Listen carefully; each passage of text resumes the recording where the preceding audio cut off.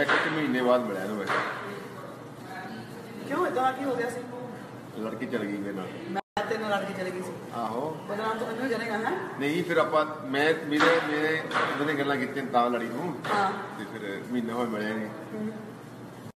Girlfriend ਤੋਂ ਮਹੀਨਾ ਰੋਗ ਬੰਦਾ ਕਿੱਦਾਂ ਰਹਿ ਸਕਦਾ ਬੰਦਾ?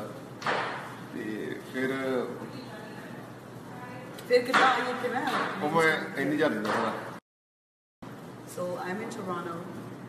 and uh, ਇੱਕ ਇੱਕ ਮਹੀਨੇ ਬਾਅਦ ਮਿਲਿਆ ਇਹਨੂੰ ਮੈਂ ਕਿਉਂ ਇਦਾਂ ਕੀ ਹੋ ਗਿਆ ਸੀ? ਲੜਕੀ ਚਲ ਗਈ ਮੇਰੇ ਨਾਲ। ਮੈਂ ਤੇਰੇ ਨਾਲ ਲੜ ਕੇ ਚਲੀ ਗਈ ਸੀ। ਆਹੋ। ਉਹਦੇ ਨਾਲ ਤਾਂ ਮੈਨੂੰ ਜਾਣੇਗਾ ਹੈ? ਨਹੀਂ ਫਿਰ ਆਪਾਂ ਮੈਂ ਮੇਰੇ ਮੇਰੇ ਉਹਨੇ ਗੱਲਾਂ ਕੀਤੀਆਂ ਤਾਂ ਲੜੀ ਨੂੰ। ਹਾਂ। ਤੇ ਫਿਰ ਮਹੀਨਾ ਹੋਇਆ ਮਿਲਿਆ ਨਹੀਂ। ਤੋਂ ਗਰਲਫ੍ਰੈਂਡ ਤੋਂ ਮਹੀਨਾ ਰੋਗ ਬੰਦਾ ਕਿੱਦਾਂ ਰਹਿ ਸਕਦਾ ਬੰਦਾ?